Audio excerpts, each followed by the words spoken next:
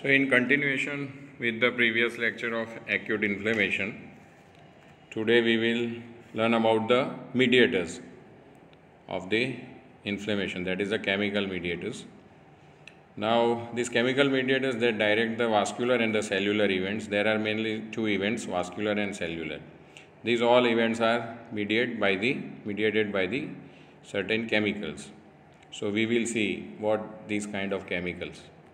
So, first is the systemic mediators present in plasma, liver, uh, that is produced in the liver, and the factor 12 activation, complement plus kinase system, and the coagulation system. The second is the local mediators. So, first is the systemic, second is the local mediators. In these local mediators, the preformed mediators are histamine, serotonin, lysosomal enzymes. All of them are found in mast cells, platelets, neutrophils and macrophages. So these are the histamine, serotonin, lysosomal enzymes. These are the preformed, already formed. They are not the uh, formed after the uh, initiation of the inflammation. These are the local mediators. Another ones are newly synthesized. That is, whenever there is initiation of the inflammation, they are newly synthesized. These are the prostaglandins, leukotrienes, platelet activating factor, cytokines and nitric oxide. Of these, prostaglandins, leukotrienes and PAF that is platelet activating factors are secreted by leukocytes that are the uh, by the neutrophils at the site of the inflammation. The cytokines are secreted by the macrophages, lymphocytes and endothelial cells. And nitric oxide is again secreted by the macrophages. Now the general properties of these chemical mediators that is first is plasma derived usually circulate in an inactive precursor in the plasma whatever there are plasma derived chemical mediators they are circulating inactive in the uh, plasma and require proteolytic cleavage to acquire their properties. The cell derived are intracellular granules and are secreted on activation. Most mediators bind to the specific receptors on target cells for their effects, uh, though some have direct enzymatic properties. Some stimulate target cells to release uh, effector uh, molecules. Effector molecules. They may have one or few targets or widespread activity. Release mediators quickly decay inactivated. So, these mediators can quickly decay and they become inactivated by certain enzymes like antioxidants, scavenge toxic oxygen metabolites and kinase inactivated bradykinin. Mediators can have harmful effects if not checked properly. Now the vasoactive amines. Vasoactive amines are histamine and serotonin. Both are the vasoactive amines. Now we will see what is histamine. Histamine is widely distributed. It is uh, seen in mast cells, basophils, platelets and present in preformed. Release in response to physical injury, immune reaction, anaphylatoxins like C3A and C3, uh, C5A are released. Uh, cytotoxins like interleukin 1 and interleukin 8 Now the effect of the histamine is arterial dilatation and increased vascular permeability. It can act upon the endothelial cells and endothelial cells contraction and retraction can occur. The second is serotonin. Serotonin is found in mainly in the platelet granules released during the platelet aggregation and its effects is same like histamine. The other neuropeptides are these are the small proteins and their effects are they initiate the inflammatory response, they transmit pain signals and regulate vessel tone and modulate vascular permeability. So, first we have seen the histamine, then second serotonin, neuropeptide, now the plasma proteases. Many of the effects are mediated by them. They are all plasma derived. Hageman factor that is factor 12 is, inactivate, uh, is activated. Whenever there is endothelial cell injury, there is exposure of the collagen and basement membrane plus HMWK. they all activate factor 12 to factor 12 act- activated factor 12. Now the factor 12 is synthesized by the liver and is present in the plasma in inactive form. Kinin system. Kinin system is pre-kallikrein that is again converted into kallikrein. It's a chemokine. Now the HMWK that is kallikrein is converted into bradykinin and it is short-lived. The actions of the bradykinin are increased vascular permeability, arterial dilatation, bronchial smooth muscle cell contraction and bradykinin is also responsible for the pain signals. It causes pain at the site of inflammation. Clotting system activation of uh, 12A leads to ultimately to formulation of thrombin activation which cleaves circulating solution fibrinogen to insoluble soluble fibrinogen to insoluble fibrin clot and generating fibrinopeptides. Effects of are thrombin enhances leukocyte adhesion to endothelium. During cleavage of fibrinogen, fibrinopeptides are generated which increase vascular permeability and are chemotactic for leukocytes. Factor 10 activated factor 10 that is factor 10A causes increase in the vascular permeability and leukocyte migration. Another one is fibrinolytic system. The activation of the Hageman factor also activates fibrinolytic system. So the plasminogen is converted into plasmin by the plasma activator. Now this plasminogen is present in the fibrin clot. It is a plasma protein. The effect is the fibrin degradation products that increases vascular permeability and vasodilatation. Plasmin is converted by the protease and cleaves into fibrin and lyses the clot. The complement systems, they are the plasma proteins, role of immunity and the inflammation in immunity. They ultimately generate a pore-like membrane attack complex that is called MAC, membrane attack complex, that punches holes in the membrane of the microbes. Complement system that is C1 to C9 and in this the C3 is important, complement C3 is important. Mainly these are in the inactive forms. When they come in contact with the immunoglobulins that is IgG and IgM complex, the C1 is converted into activated C1, C4 plus C2 binds uh, in the classical pathway convertase and C4b 2a acts upon C3 to convert it into activated C3. C3b plus C3 convertase complement. Now the C5 convertase that is forms the C5 to C9 MAC. C3 converted into C3b, C3b, B alternate pathway, C3 convertase, alternate pathway, CD, C5 convertase. Now the effects of this complement system. The vascular effects are C3A and C5A, both anaphylatoxins, increases vascular permeability and vasodilatation by inducing mast cells to release histamine.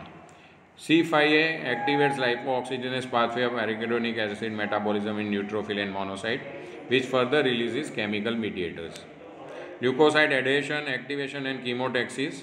C5A activates the leukocyte, increases affinity of integrins, increase adhesion to the endothelium. Chemotactic agents for neutrophil, eosinophil, basophil and monocytes.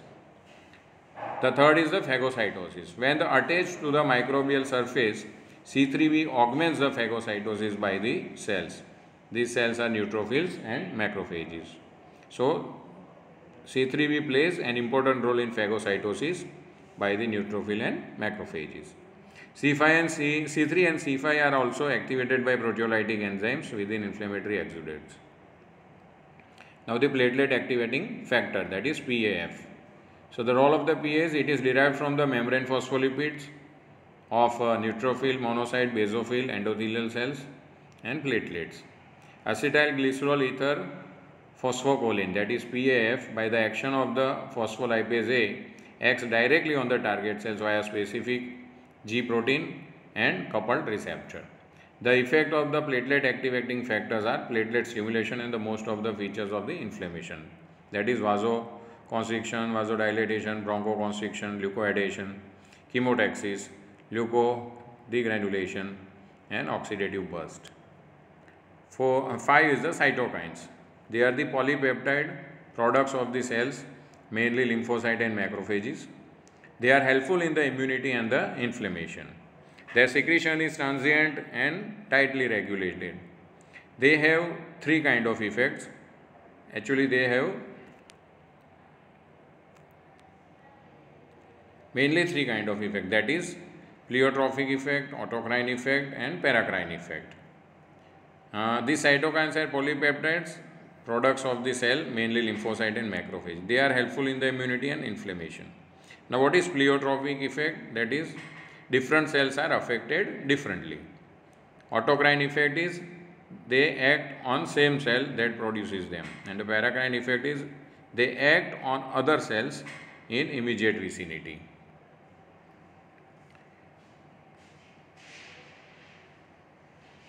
Now the endocrine effect is they act systematically. The another uh, fourth effect is the endocrine effect also. Now these effects stimulate hematopoiesis like GM, uh, CSF and interleukin 3. This is the granulocyte monocyte colony stimulating factor.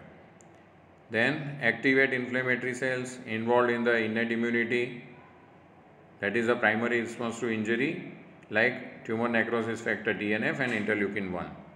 They regulate the lymphocyte function, growth differentiation and activation. Chemokines that have chemotactic activity for various leukocytes.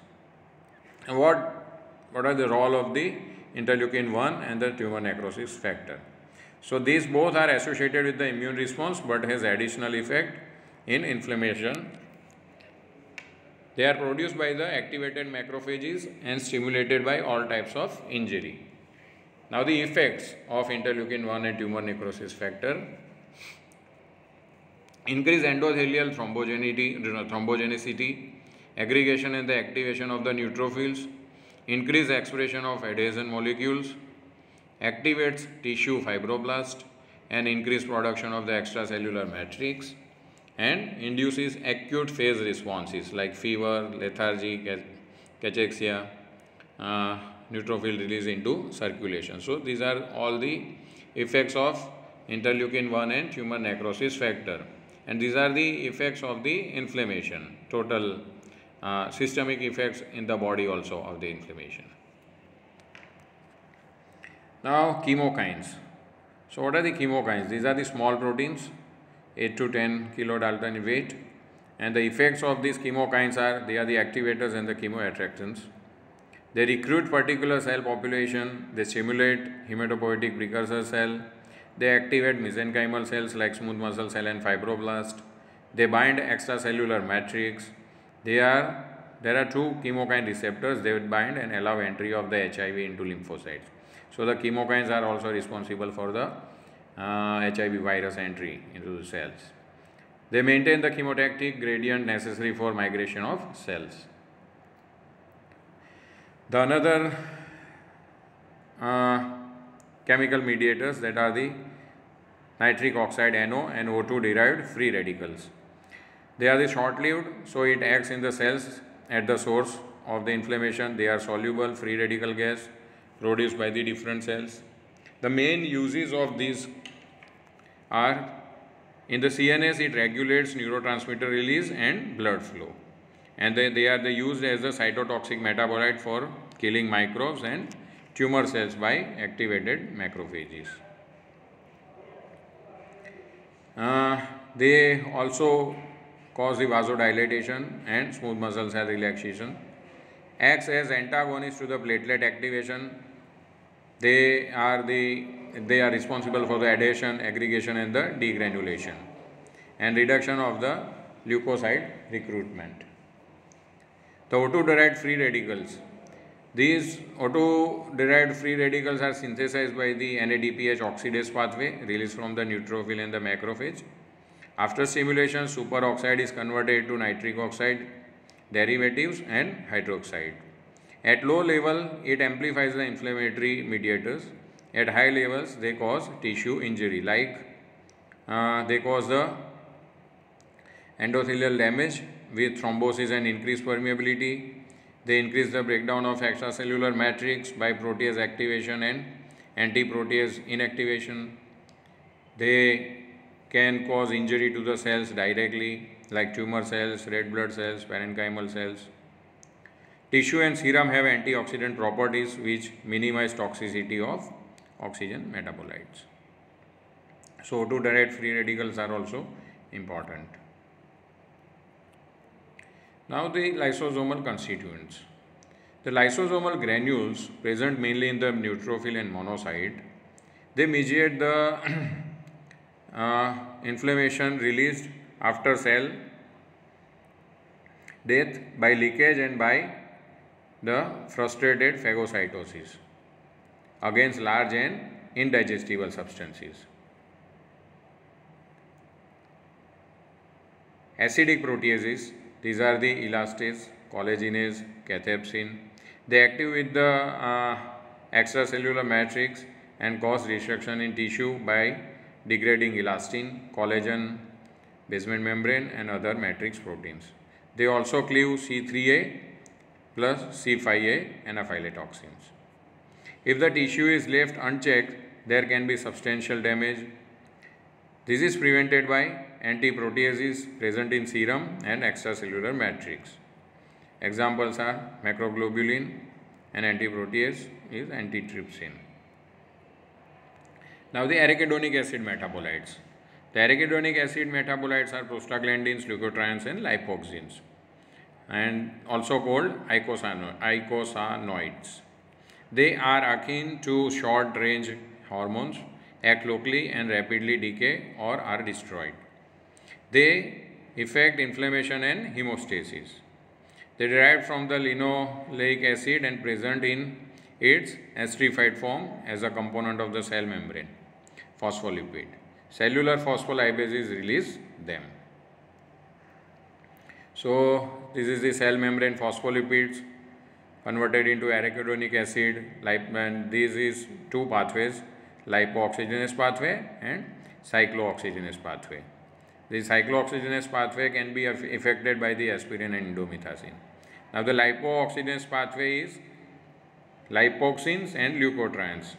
These lipoxins are vasodilator mononuclear cell adhesion can occur and they inhibit the neutrophil chemotaxis. While the leukotrienes causes vasoconstriction, bronchospasm and increased permeability. In the cyclooxygenase pathway, prostaglandins causes vasodilatation and inhibits platelet aggregation, while the thromboxane A2 causes vasoconstriction and promotes platelet aggregation. PGE2 is again responsible for the vasodilatation and edema. Now the transcellular biosynthesis also takes place. How? The arachidonic acid products pass from one cell to another and differentiate cells cooperate with each other to generate eicosanoids. Cells that lack some intermediary enzymes can synthesize it using precursors generated in other cells. One such example is the generation of the lipoxins. Now these lipoxins are synthesized using transcellular pathway. Platelet alone are unable to form lipoxins A4 and B4 but they can form metabolites from intermediate LTA4 derived from the adjacent neutrophils. So the effects according to the effects we can see the vasodilator effect is of prostaglandins and nitric oxide. The increased vascular permeability is mainly by the histamine, vasoactive, amines C3 and C5A, bradykinin, leukotrienes, C4D4 and E4, platelet activating factor and substance P. Chemotaxis, leukocyte recruitment and activation is by C5A, leukotriene, B4, chemokines, interleukin 1, tumor necrosis factor, bacterial products. Fever is mainly due to interleukin 1 and tumor necrosis factor and prostaglandins. And pain is due to prostaglandins and bradykinin. Tissue damage is mainly by neutrophil and macrophage lysosomal enzymes. So, this was all about the chemical mediators of the inflammation. Okay, thank you.